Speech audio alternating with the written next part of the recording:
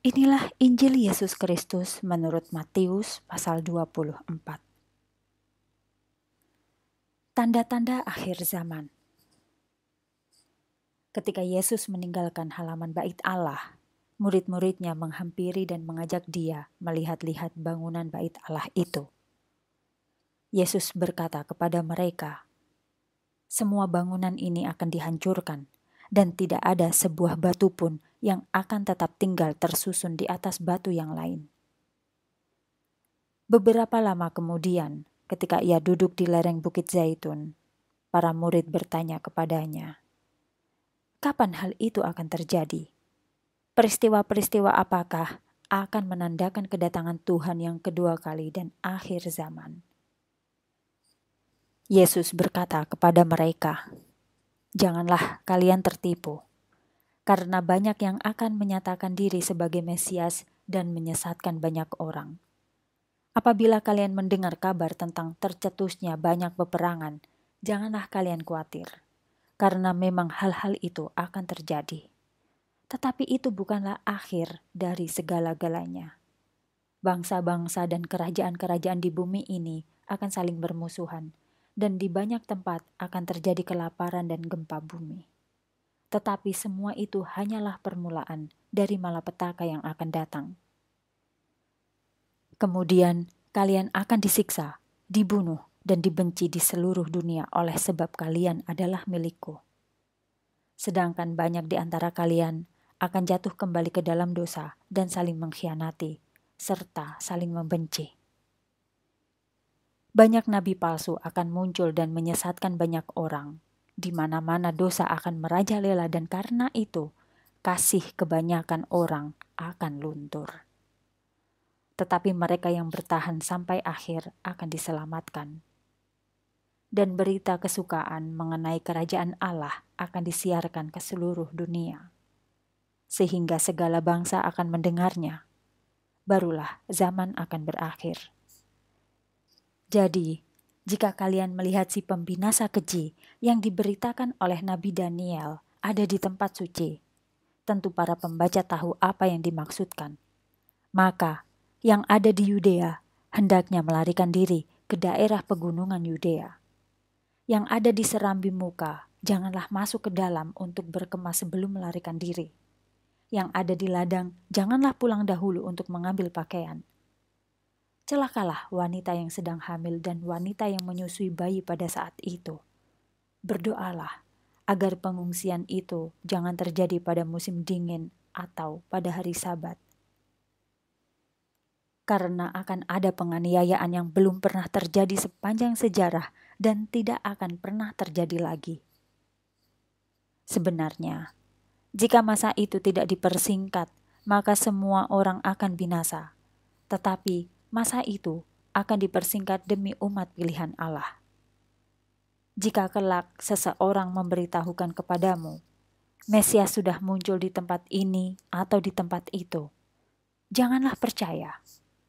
Karena banyak Kristus palsu dan nabi palsu akan muncul, dan mereka akan membuat banyak mujizat yang hebat sekali, supaya jika mungkin umat pilihan Allah sekalipun akan ditipunya. Ingatlah, kalian sudah kuperingatkan. Jadi, jika ada orang yang memberitahukan kepada kalian bahwa Mesias sudah kembali dan berada di padang gurun, janganlah kalian pergi ke sana untuk melihatnya. Atau jika dikatakan bahwa ia sedang bersembunyi di suatu tempat tertentu, janganlah kalian percaya. Karena seperti kilat yang memancar di langit dari timur ke barat, demikianlah kedatanganku apabila aku, Mesias, datang kembali. Dan di mana ada bangkai, di situlah burung nasar akan berkumpul. Segera setelah penganiayaan pada masa itu, matahari akan dikelamkan, bulan tidak akan bercahaya, bintang-bintang akan tampak berjatuhan dari angkasa raya, dan kuasa-kuasa yang menaungi bumi ini akan diguncangkan pada akhirnya, tanda kedatanganku akan terlihat di angkasa raya, dan sekalian bangsa di seluruh muka bumi akan berkabung, dan mereka akan melihat aku datang dengan awan dari langit dengan segala kuasa dan kemuliaan. Dan aku akan mengutus malaikat-malaikatku dengan bunyi terompet yang dahsyat, dan mereka akan mengumpulkan orang-orang pilihanku dari segala penjuru langit dan bumi. Ambillah pelajaran dari pohon ara. Jika carang-carangnya lembut dan mulai bertunas, maka kalian tahu bahwa musim panas sudah dekat. Demikian juga jika kalian melihat segala hal ini mulai terjadi, maka kalian tahu bahwa kedatanganku yang kedua kali sudah dekat, bahkan sudah di ambang pintu. Dan akhirnya zaman ini pun akan berakhir. Langit dan bumi akan lenyap, tetapi perkataanku tetap untuk selama-lamanya. Tetapi tidak ada seorang pun mengetahui hari dan saat berakhirnya zaman ini. Malaikat tidak, anak Allah pun tidak, hanya Bapa yang mengetahuinya. Orang akan hidup seperti biasa, mengadakan perjamuan, pesta, dan pernikahan, sama seperti pada zaman Nabi Nuh sebelum banjir yang melanda dengan tiba-tiba. Orang tidak mau mempercayai apa yang akan terjadi sampai saat banjir itu melanda dan membinasakan mereka semua. Demikian juga halnya dengan kedatanganku kelak. Dua orang laki-laki yang sedang bekerja bersama-sama di ladang. Seorang akan dibawa dan seorang lagi akan ditinggalkan. Dua orang wanita yang sedang bekerja bersama-sama di rumah. Seorang akan dibawa dan seorang lagi akan ditinggalkan.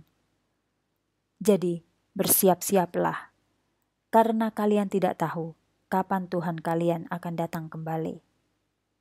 Orang dapat menghindari bahaya kemalingan dengan jalan berjaga-jaga terhadap kemungkinan itu. Demikian juga kalian dapat menghindari kesulitan dengan senantiasa bersiap-siap menantikan kedatanganku kembali, karena aku akan datang pada saat yang tidak terduga. Apakah kalian hamba Tuhan yang bijaksana dan setia, yang telah diberi tugas untuk mengurus rumah tanggaku dari hari ke hari? Berbahagialah kalian jika pada waktu aku kembali, aku mendapati kalian melaksanakan tugas dengan setia. Orang yang setia seperti itu akan kuberi kuasa atas segala sesuatu yang aku miliki. Tetapi, jika kalian jahat dan berkata kepada diri sendiri, Tuhanku tidak akan cepat-cepat datang dan mulai menindas sesama hamba, berfoya-foya serta bermabuk-mabuk, maka Tuhan akan datang dengan tidak terduga. Kalian akan dicambuki dan dijebloskan ke dalam tempat hukuman orang munafik.